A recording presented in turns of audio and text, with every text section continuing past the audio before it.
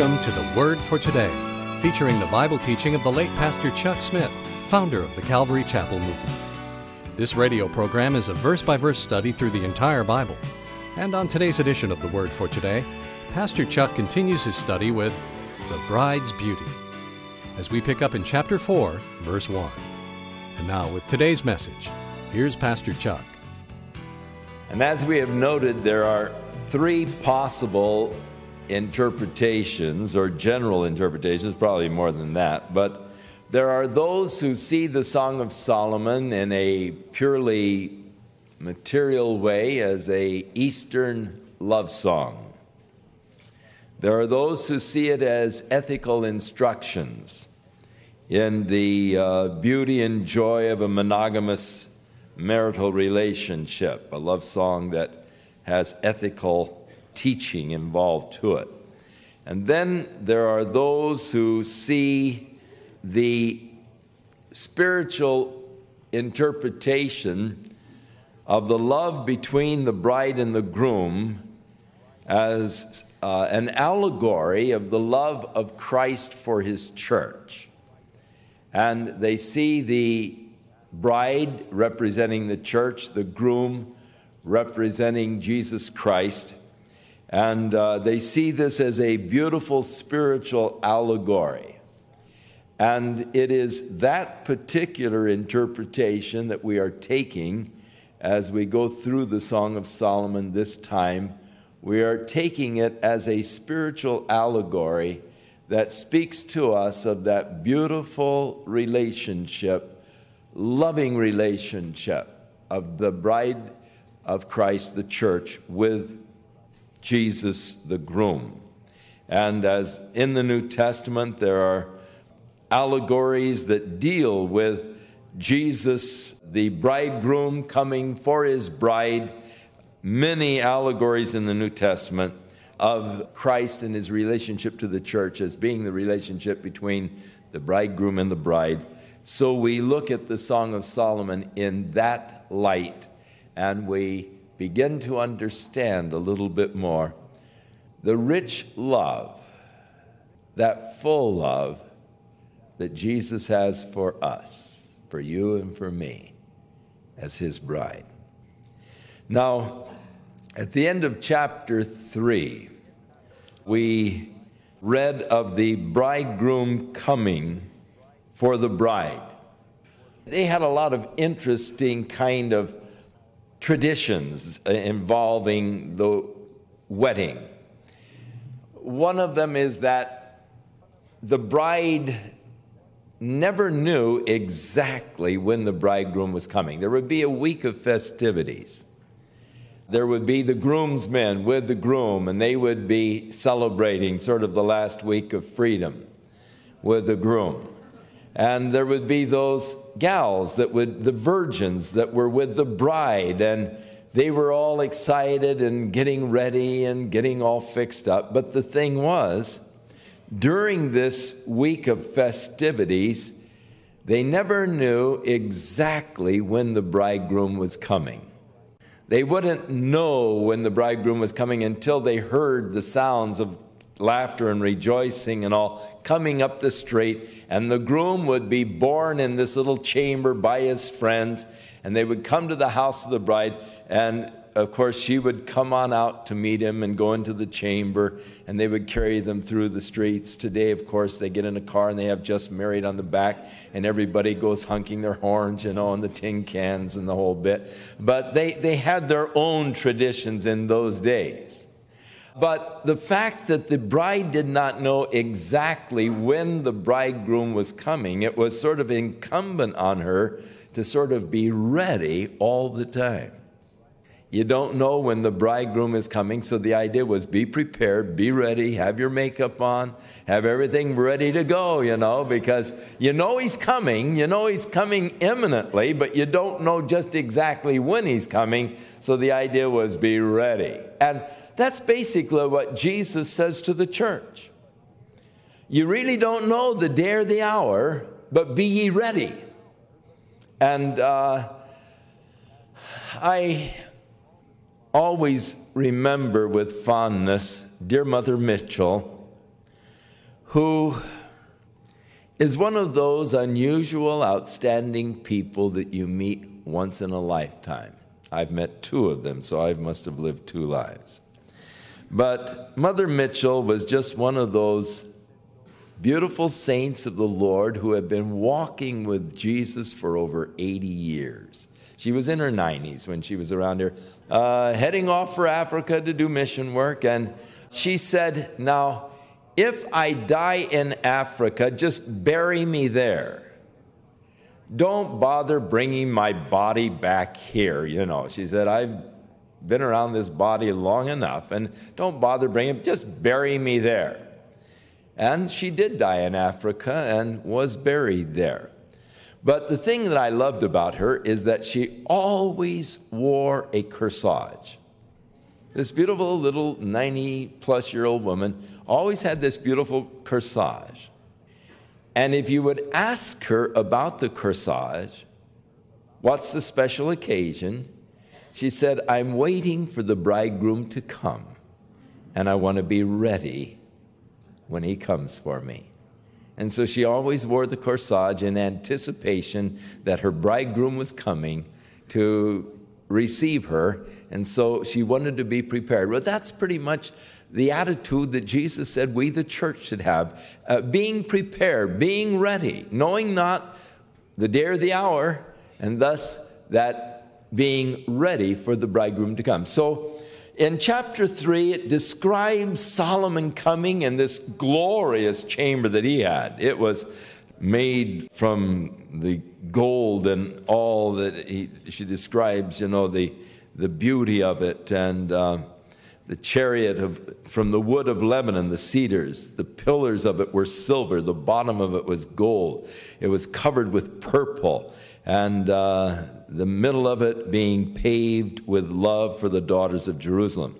So, came and picked up the bride, and now she is being borne in this nuptial chariot, more or less, with the bridegroom and he speaks to her as they are being borne from her area uh, up near the areas of, of Lebanon.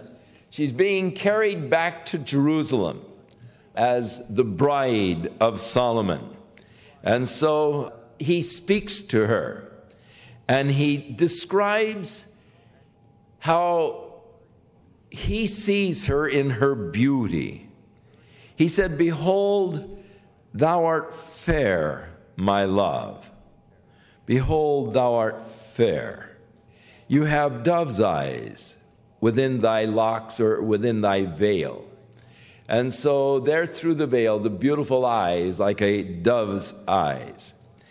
Your hair is like a flock of goats that appear from Mount Gilead. Now, that may not sound very romantic to you, but the goats were black. And interesting, they grazed them on the hillsides there in Israel, even to the present day. And as you are driving through the countryside, you will see a mountain that is just covered with these black goats. And oftentimes it looks just like flowing hair down the, down the mountainside. And so, as he is describing just the beautiful flowing black hair that she has, and he uses a figure of speech that would be very familiar to them as they were accustomed to seeing the hillsides, you know, going up the valleys and so forth, uh, covered with these black goats, and thus the flowing, it looking as though the flowing coming down the mountainside. Again, using things that are familiar to them, he said, Your teeth are like a flock of sheep that are even shorn, which came up from the washing. That is, they're white and glistening and each one bearing twins. That is, there is a symmetry to your teeth that you don't have, you know, a snaggle tooth or whatever, but they, each one bearing twins. And there's none bearing, and you're not missing any teeth.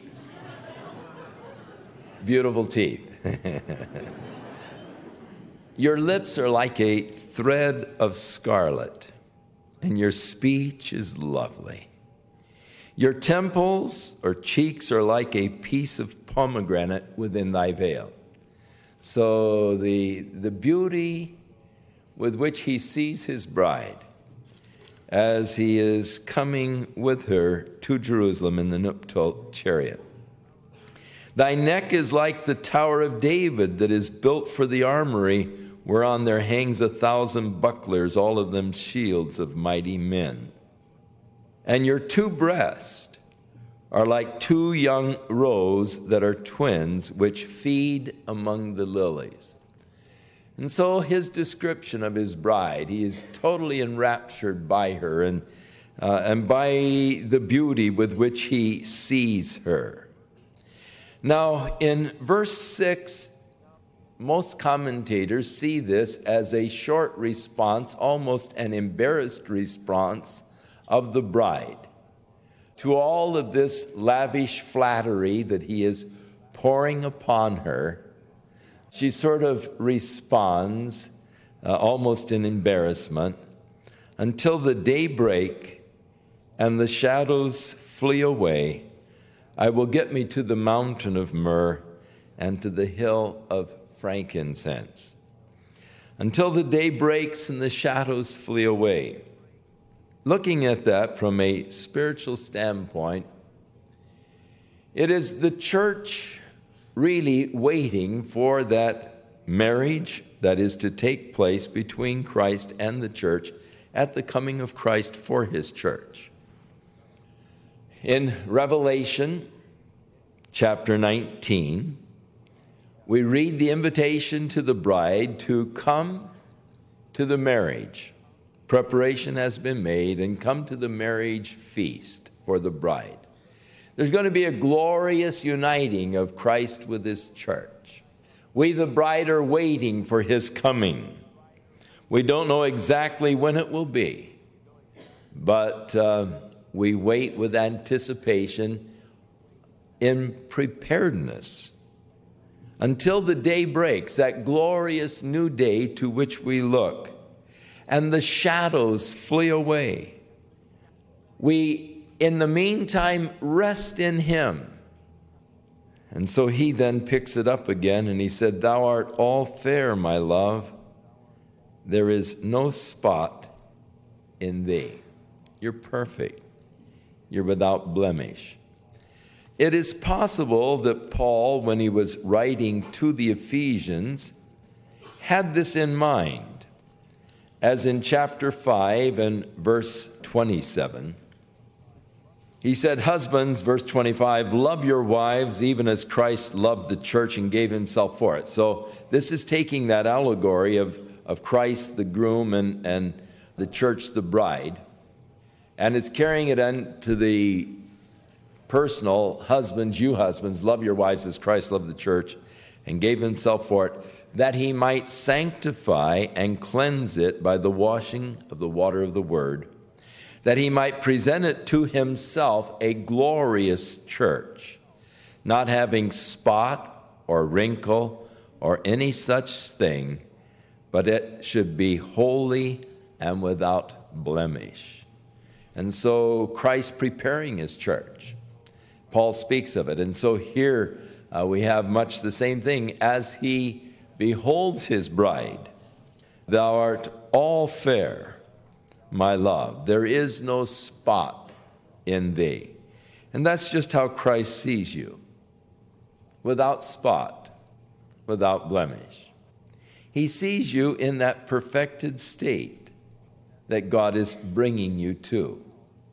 We ourselves, in looking at ourselves, see us in our imperfected state. We see us in this present state of development, but we don't see the finished work. As the Lord looks at you, He sees the finished product. He doesn't see the flaws of the imperfections that we have as we are being prepared.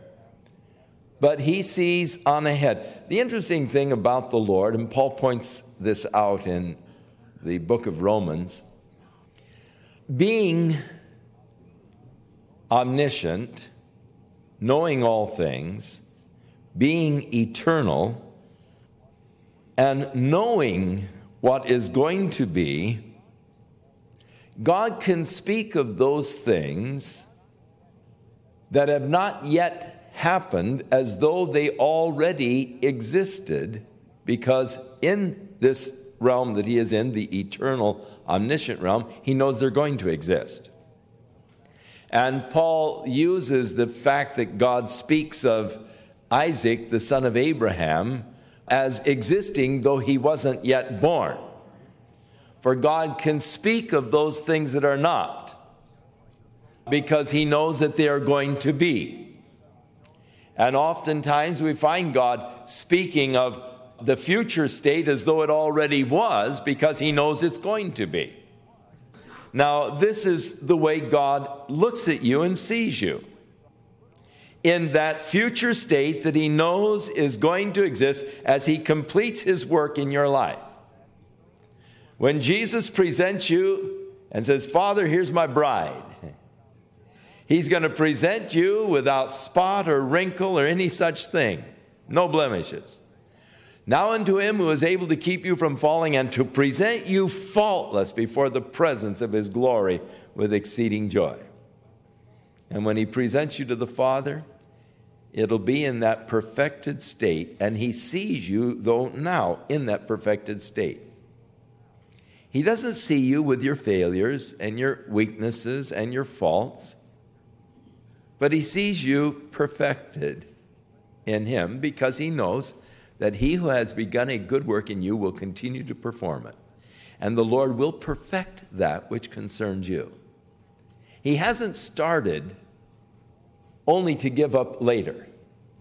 He didn't choose you and call you to be his bride, hoping that you would turn out okay, hoping that uh, he'll be able to complete his work in your life. So that you don't have to worry that one of these days when you've had a especially bad day, you've blown it again that he's going to say, ah, forget it. They'll never make it.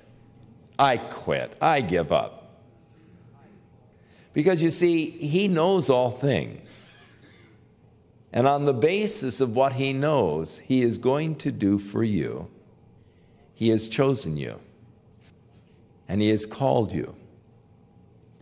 And he will perfect those things concerning you.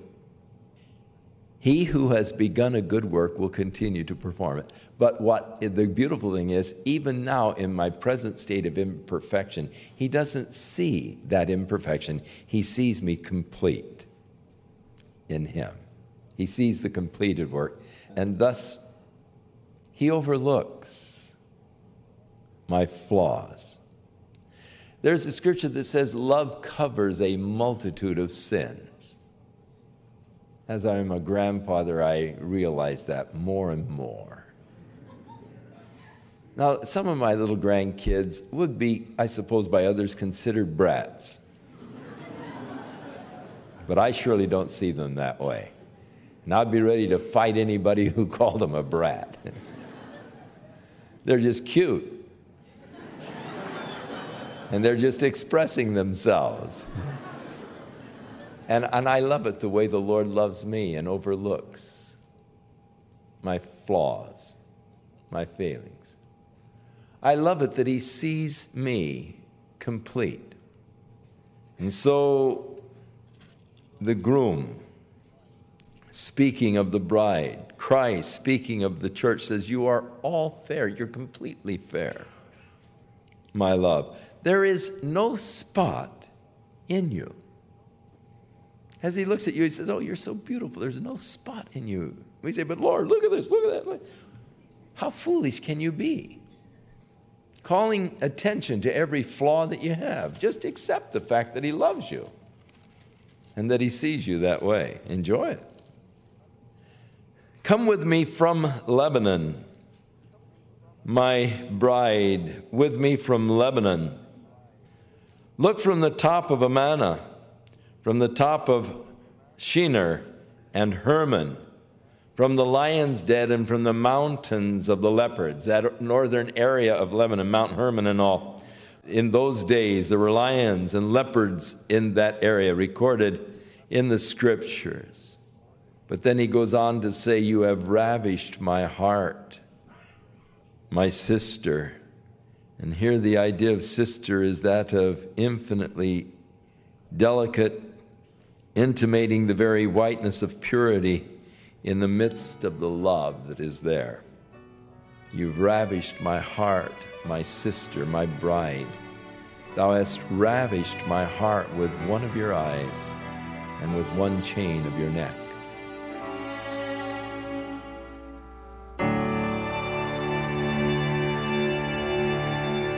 We'll return with more of our verse by verse venture through the Bible in our next broadcast as Pastor Chuck continues his study through the Song of Solomon and we do hope you'll make plans to join us.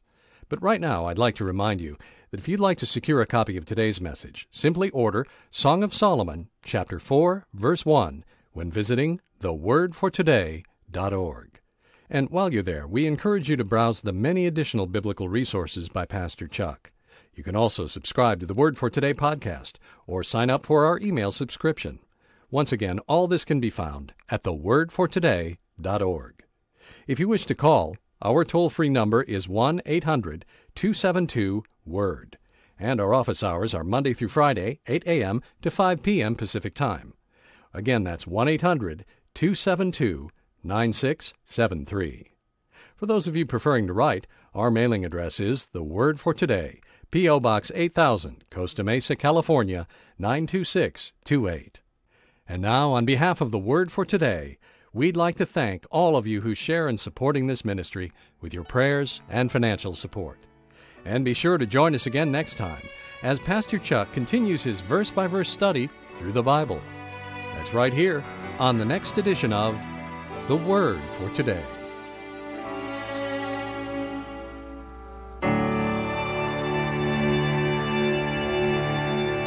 Now, once again, here's Pastor Chuck with today's closing comments. But you who have given your lives over to follow Jesus Christ and to serve Jesus Christ, you've already begun to experience some of the riches, the satisfaction, the contentment, and the peace of letting the Lord be Lord. And when you come to the end of the road, there's that certain looking forward to the glorious rewards that God has promised for his faithful servants. To stand before the Lord and have him say, Well done, good and faithful servant. You've been faithful in the little things. Now I'll make you ruler over the bigger things. Enter into the joy of your Lord.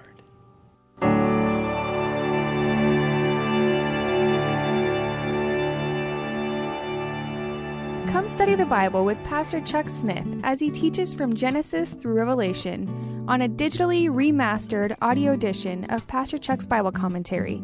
That's over 600 audio MP3 files of Pastor Chuck teaching through the entire Bible, all on a 16 gig reusable flash drive.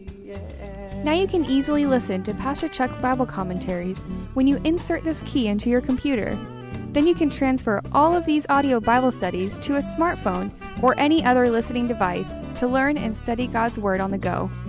And not only that, you can reuse this flash drive that easily fits onto any keyring for even more mobility at a fraction of the cost. What a great way to study and learn God's Word! For more information, please call the Word for Today at 1 800 272 9673 or visit us online at thewordfortoday.org. This program has been sponsored by the Word for Today in Costa Mesa, California.